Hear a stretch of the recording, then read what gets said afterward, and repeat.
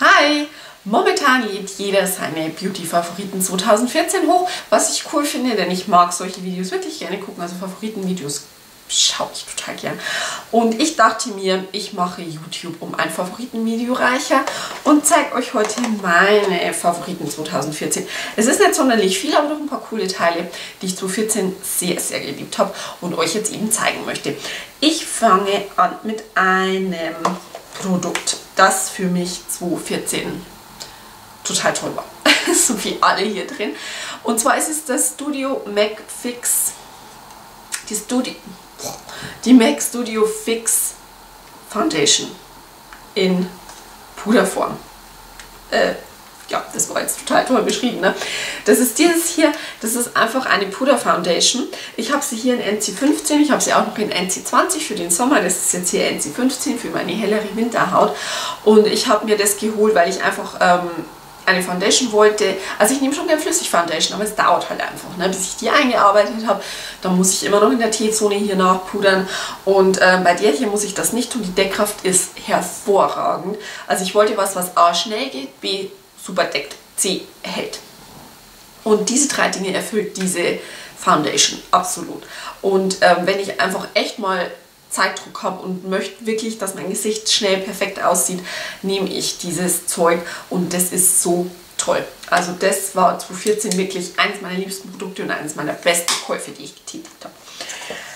Dann habe ich eine Lidschattenpalette ganz, ganz oft benutzt und wahrscheinlich könnt ihr sie schon gar nicht mehr sehen bestimmt in vielen Favoritenvideos vertreten.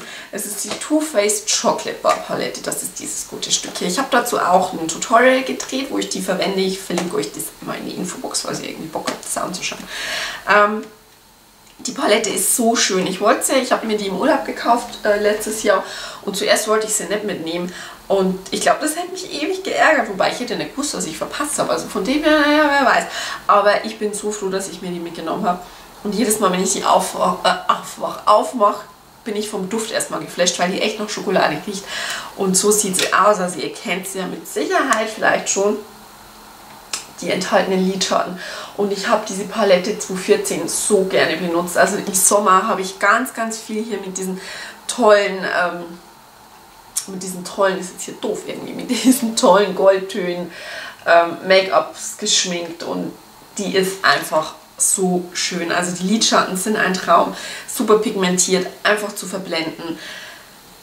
Diese Palette ist echt jeden Cent wert. Also ich kann euch die so, so, so sehr empfehlen, wenn ihr euch was Schönes holen wollt. Es gibt ja jetzt auch diese Semi-Sweet Palette, die habe ich noch nicht, aber ich denke, irgendwann wird die vielleicht auch bei mir einziehen. Ich weiß noch nicht, aber ich glaube schon. Aber hier die Original ist einfach, oh, die Palette ist ein Traum. Dann habe ich benutzt ähm, ganz, ganz gerne einen Highlighter. Das ist mein all-time favorite ähm, Lieblingshighlighter und zwar von Lorac, der Perfectly Lit Spotlight Primer. Und ja, es ist ein bisschen schwierig jetzt an ihn ranzukommen. Ich weiß, es ist ein bisschen doof, aber ich wollte ihn euch einfach zeigen, weil ja, er gehörte einfach zu meinen Favoriten und es ist immer, glaube ich, mein Favoriten-Highlighter. Das ist der. Und er macht einfach ein so, so wahnsinnig natürliches Highlight. Ähm, ja, es ist, so sieht er aus. Und egal, wo man ihn aufträgt, also entweder hier oder auf dem Nasenrücken oder hier äh, auf eben an der Oberlippe, hier in diesem Bogen, es sieht immer total natürlich aus. Es ist, dieser Highlighter ist ein Traum und mein all-time favorite Highlighter, da geht echt nichts drüber. Dann habe ich ein Produkt entdeckt, das meinen Lippenstift, meine Lippenstiftnutzung revolutioniert hat. Und zwar vom MAC The Prep Prime for Lips.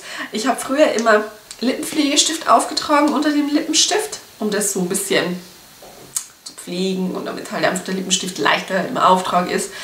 Ähm, das hier ist ein Unterschied wie Tag und Nacht. Ist auch sehr Lippenbalsam ähnlich irgendwie, sieht schon so aus. Ähm, aber ich möchte nie wieder ohne dieses Produkt sein. Ich weiß, es ist teuer, für was das man halt unter dem Lippenstift braucht und es nutzt sich leider auch relativ schnell ab, muss ich sagen. Aber auch hier finde ich, es ist einfach sein Geld wert. Gerade jetzt im Winter, ich habe sehr mit sprühenden Lippen zu kämpfen und ähm, ich trage dann immer das drunter auf und es hilft auch wirklich bei so einem Problem. Und ja, der Lippenstift hält länger, es ist tatsächlich so.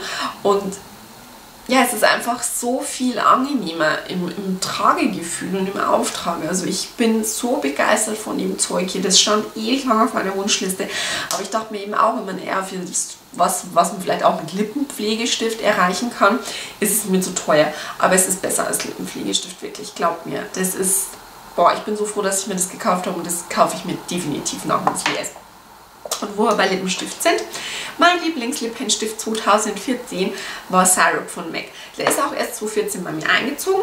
Ich habe eine Review dazu geschrieben, verlinke ich euch auch in die Infobox. Ähm, sieht so aus, ein sehr, sehr natürlicher Ton. Das Finish ist Luster. Und das hier ist er. Und die Farbe passt irgendwie zu allem. Also das ist so ein richtiger Allrounder im Alltag. Super, super schön. Ähm, eher ein bisschen schier, also man kann aber gut layern. Also er ist einfach ein Traum. Und die Farbe ist so toll. Also ich glaube, die geht mit allem. Was heißt ich glaube? Ich weiß, die geht mit allem. Ich habe es selber getestet. Und da, der ist so schön. Dann habe ich mir ein Gloss gekauft von Essence. Essence gucke ich ganz, ganz selten, aber das ist mir ins Auge gestochen. Und zwar der XXL Shine Lip Gloss in, was heißt das hier? Bright Side of Life. Und den habe ich ganz oft getragen im Sommer.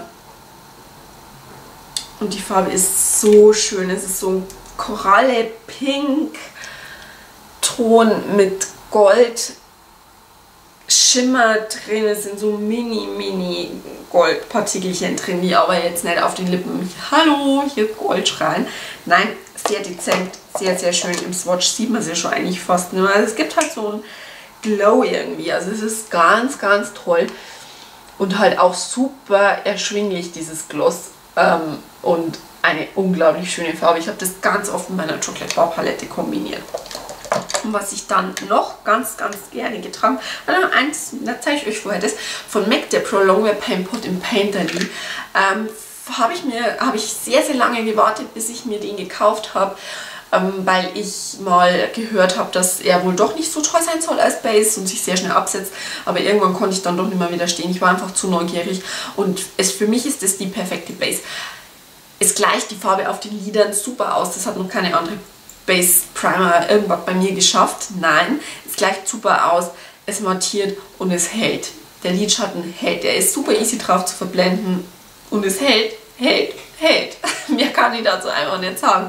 Es ist so toll und auch hier wirklich jeden Cent wert. Ich habe den 2014 mir gekauft und dann war mein ständiger Begleiter unter meinem Augen-Make-up.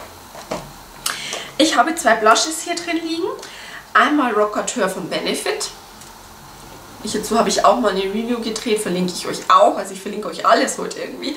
Ähm, und wahrscheinlich könnt ihr es schon immer sehen. Ja, das ist ist jetzt nicht unbedingt das aktuellste Blush, also es gibt es schon seit 2013, da habe ich es mir auch gekauft und man muss hier ein bisschen mehr schichten. Das ist sehr, sehr dezent und schier, aber so ein schöner ähm, Rosenholzton mit so dezentem Schimmer. Und ich muss es euch nochmal zeigen, wenn ihr genau hinguckt, man sieht, dass ich schon hier deutlich was raus habe. Also das benutze ich so gerne, oder auch 2014. Ich habe es im Herbst 2013 gekauft und 2014 habe ich so, so oft benutzt. Und hier habe ich es jetzt einmal geswatcht. So sieht es aus. Und diese Farbe funktioniert mit allem irgendwie. Also ich habe die zu so, so viel Make-up-Looks kombiniert. Wenn ich irgendwie nicht weiß, was nehme ich, kommt Rockateur zum Einsatz. Definitiv etwas, das sich bei mir sowas von bezahlt gemacht hat. Ich liebe, liebe dieses Blush. Und ein zweites Lieblingsblush, das ich habe, ist von Sonja Kaschuk in der Farbe Sunset. Sonja Kaschuk gibt es leider bei uns nicht. Falls ihr irgendwie in den USA oder fliegt, ihr kriegt das Zeug bei Target nur mal so. Also auch hier dachte ich mir, okay, es ist doof, wenn ich es euch zeige, aber es war halt einfach ein Favorit. Und wie gesagt, vielleicht, hat ja, vielleicht habt ihr ja auch irgendwie die Möglichkeit oder einer von euch anderen ähm, fliegt in den Urlaub und kann sich das vielleicht angucken. Also ich habe es mir auch aus dem Urlaub mitgebracht. Ähm, das ist ein koralliger Ton mit ganz, ganz feinem Gold. Hier habe ich ihn euch geswatcht. Und der hier in Kombination mit dem Essence Gloss oder auch generell mit ähm, Peach-Tönen, Koralletönen auf den Lippen. macht sich super, super gut. Und diese Sonja äh, Kaschu Blushes sind super pigmentiert und lassen sich total easy verblenden. Ich liebe es. Und zu guter Letzt habe ich noch einen ähm, Lidschatten. Der ist von Chanel. Den habe ich mir im Frühjahr gekauft. Da habe ich echt lange überlegt, weil es halt echt teures Ding ist. Ne? Ich meine, ja, aber und es ist halt nur ein Lidschatten. Ne? Und ich kriege ihn jetzt auch nicht auf. Moment. Ich will mir den Fingernagel abbrechen.